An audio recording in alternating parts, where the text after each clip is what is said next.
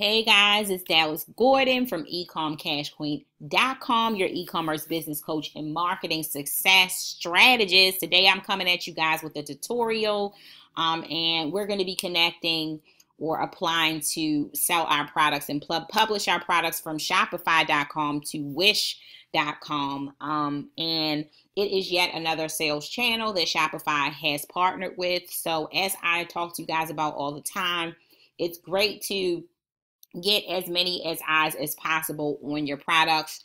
So we're starting again today, guys, with the Shopify store that my mom, I'm creating for my mom. I created one for her before. This time I'm creating a general store for her. So I'm kind of using her store as a case study to work on getting her store selling within the first month. And I'm kind of connecting her right now. So everything that I do, you know, on live trainings and off of live trainings, I'm trying to really record it so that you guys can see it and don't forget if you want the full entire bundle of the Shopify setup series, the link will be in the, I'm gonna make sure that I put the link below this video so that you guys can go ahead and grab that bundle. It is value pack bundle, even has some Facebook ads basics in there for a great price, guys. So make sure that you grab your bundle. So I'm gonna go ahead and get started. Um, if you do want to um, stay in touch and make sure that you get a lot of these trainings that I'm doing as we go. You can join the Ecom um, Profit Tribe if you are on Facebook, and you can get in there. And I'll make sure that link is also in the comments. I'm also on Instagram at Ecom Cash Queen as well, so that you can get updates with trainings as well, guys. So let's jump into it.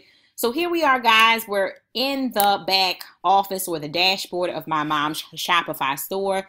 So far, guys, I've created, I've connected Pinterest, I've connected Facebook to her store and the Facebook Messenger. I already did a video teaching you how to connect a Facebook store to Shopify so that you can publish your products into the Facebook Marketplace. So now, guys, I'm going to apply my mom's store for Wish. So basically, the key here, guys, my mom is 50 plus years old, probably really 60 plus years old now. Um, I, I have already trained her how to add products to her own store. Um, the more basic, the better for her. She doesn't need a lot of steps. So basically, I'm teaching her. I'm basically connecting sales channels that are very low maintenance, and all she has to do is either a quick share or, you know, basically these products are going to be automatically fed into these different sales channels. So, Wish is one of those guys that you can kind of automatically feed your products into their marketplace. Me personally, a lot of my sales don't come from Wish, maybe every now and then. One thing about Wish is that from what I can see, Wish is mainly like a Chinese marketplace.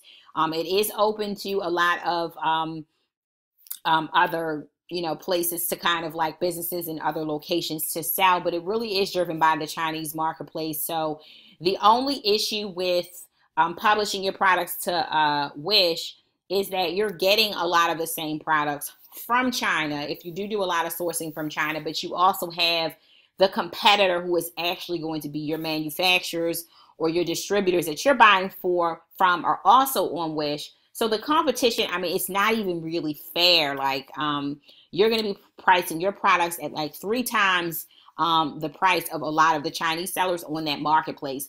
But it's still worth it to get more eyes on your product. So I'm going to go ahead and connect this for her because I really want to get as many as eyes on my mom's products as possible.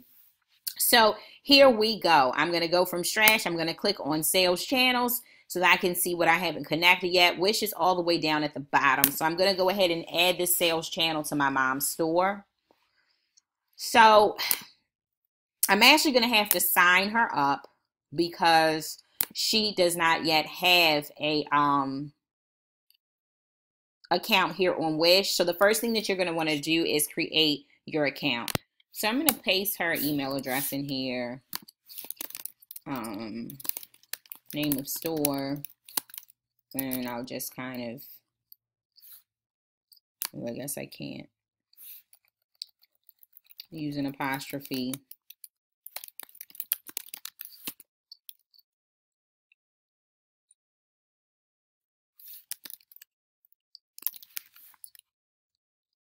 Okay, and they want me to use a more secure password. I don't even know what's wrong with the store name. Oh, no spaces. Okay. So let's try that again.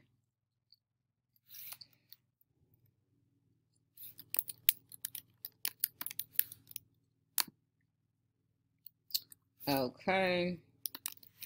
They don't like my password. Huh? No. All right. So, oops. So I probably won't be able to complete the full setup of this because I'm not going to really be able to connect her payment method right now um, and stuff. So guys, I kind of entered my mom's information, like her address and name and phone number and all that kind of stuff off screen. Um, you know, don't forget you're going to have to use a country code. Um, if you're in the United States, it's going to be the number one um, with a phone number that you want to use on Wish. Okay. So, um, it's going to ask you kind of like what platform are you currently using. I'm going to select Shopify.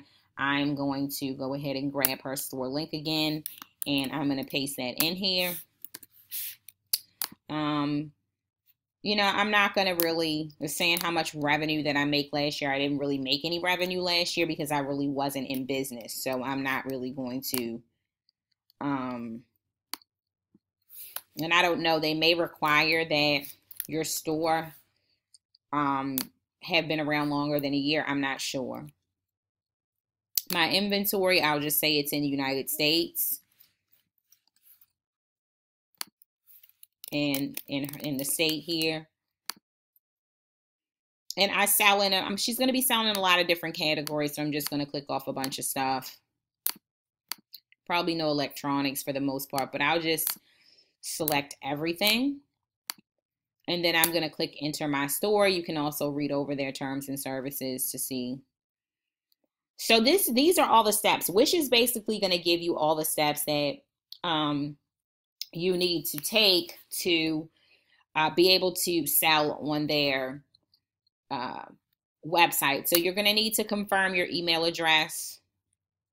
So uh, let me do that really quickly off camera, just a moment. So I went into the email address and confirmed the store for her. So as you can see, this box is also checked off. They're going to ask you to come confirm your phone number. Now, I'm not with my mom right now, but um, you can also do that where you can click go. And you can always change the number. So I can always change it just like to my cell phone really quickly to try to confirm it. Make sure the country code is in there. Just a moment, guys. So now it's time to enter the payment information. Um, I went ahead and verified the other things, so I'm going to go ahead and do that. Um, I'm just going to click on PayPal. Um, let me change the provider up here. Now it says PayPal China. It should be able to um, you know, um, send you the money to a U.S. PayPal account. One more second, guys, while I enter this information. So once you enter your payment information, as you can see, they're just walking us through all the steps. It's going to say add product listings to your store. So I'm going to click there next to see what they're requiring me to do next. Um, you really shouldn't have to actually do this part because we're actually connecting this through Shopify. Um, let me click here. Review the terms of service. I'm just going to do that. So you want to read through the terms of service, guys. I've already done this in the past. You want to read through those and then you're going to hit agree. They're going to ask you to check off all these boxes here. So feel free to, you know, read through everything and see what you're getting yourself into. Um, one thing about Wish too, you're probably going to have to fill orders in the hole. So you're going to have to fill the orders up front um, if you get them. Like Wish is not going to pay you um, until after you fulfill the order. So that's just something to think about. So I've completed all of these steps. I'm going to go back over to Shopify here. Okay. And you go back over to her Shopify store. They've actually taken me out of here. Gonna go back to sales channels. And I am going to, thought I already added wish. Okay. So I'm going to click on add wish and I'm going to just click add sales channel. Thought I already did all of this.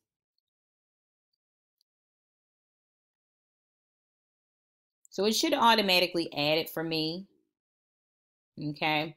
So now I'm going to connect the account.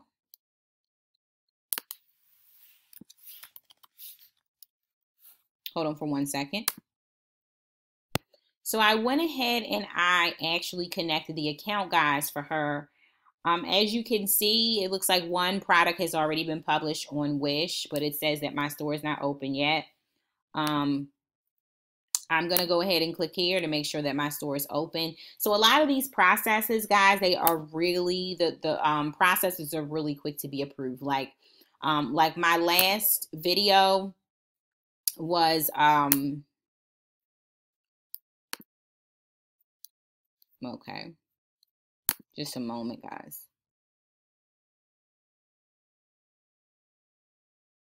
So once Wish approves it, it's going to be published here. But what I was trying to say, guys, on the last video, I was saying that I wasn't sure whether my mom had been approved for Pinterest yet, and I looked, and she had already been approved. So as long as you have all the information completed, no red flags, um, they typically just approve you pretty much right away. So these are all of the sales channels. I think I'm going to go ahead and move forward and add um, Wanelo as a sales channel for my mom as well. I'm going to go ahead and submit that application as well for her. And you know, the more the merrier, guys. And this is like it's it's automatic um, that your your products will be published to the sales channel. So it's really like a win-win. So just wanted to share with you guys where I'm at with the store. Definitely make sure that you subscribe to the channel, guys. Follow me on Facebook at Ecom Cash Queen and Instagram Facebook group is the Ecom Profit Tribe. Um, the course for Shopify, guys, is the Shopify Setup Series Bundle. So I'll be sure that that's below. And love you guys. Make that money. Have a wonderful, blessed day. I will see you guys next time.